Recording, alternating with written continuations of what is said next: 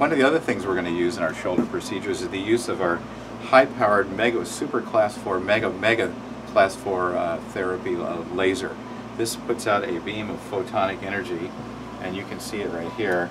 Here's you can see the red light right here. Right here you can see the red light from the laser beam itself and what this does is it goes into the tissues anywhere from 6 to 9 inches it'll pass right through the tissue and it helps to stimulate uh, circulation, uh, all that kind of stuff, stimulate mitochondria in the cells so the tissue itself will regenerate itself.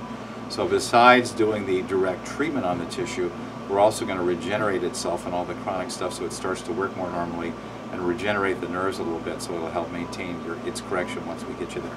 So the bottom line is you can see this thing, this thing's quite powerful and uh, I don't have it on right now, this is just the aiming beam because I couldn't hold my hand here and do this, it gets too high. So I would have to keep moving it and stuff like that. So the bottom line is it works very, very well. Now let's go talk about some other things.